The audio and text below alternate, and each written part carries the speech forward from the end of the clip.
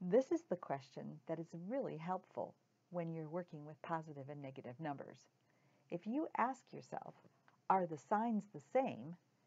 You're going to be, have to answer that with a yes or a no.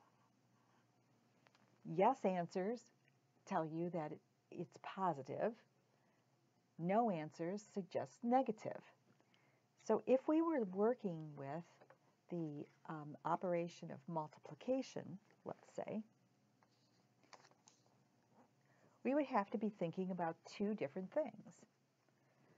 First of all, we need to, to think about the sign of the answer. And that's going to either be a positive or a negative. This is going to be a positive or a negative, the sign of the answer, once you do the multiplication. The next thing you want to think about is the operation of the numbers. And in this case, we're going to be doing the operation of multiplication. So in this case, we could have two numbers that are positive or two numbers that are negative. Or we could, we could have two, uh, one of each.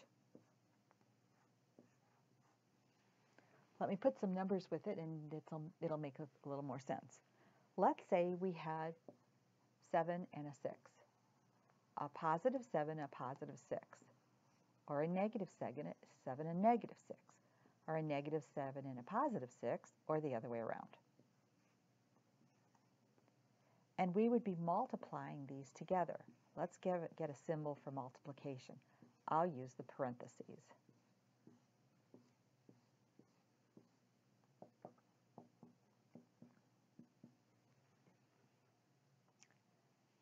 When you uh, do the operation of the numbers, what you do to the numbers here is multiply it.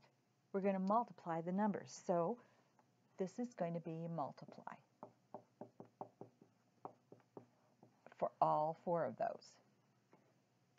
When you multiply these together, you're going to get a 42 because 7 times 6 is 42.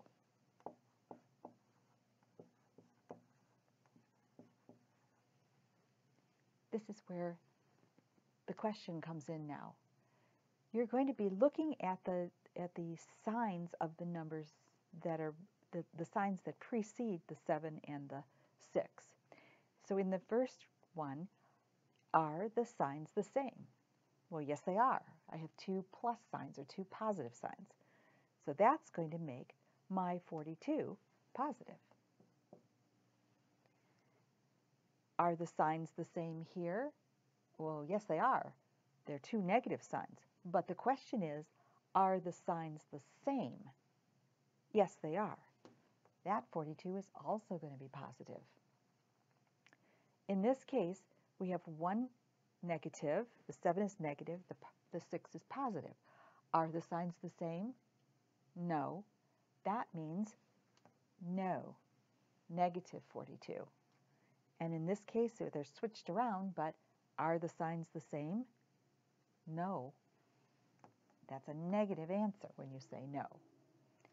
So you're going to multiply the numbers together just like usual, but if you have the same signs for both of the, the two numbers that you're multiplying together, the answer is going to be positive. And if you have different signs,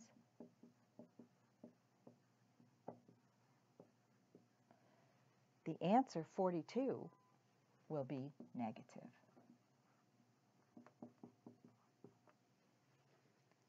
Same signs give you a positive answer. Different signs give you a negative answer. But you're going to multiply the numbers that you have, just like normally.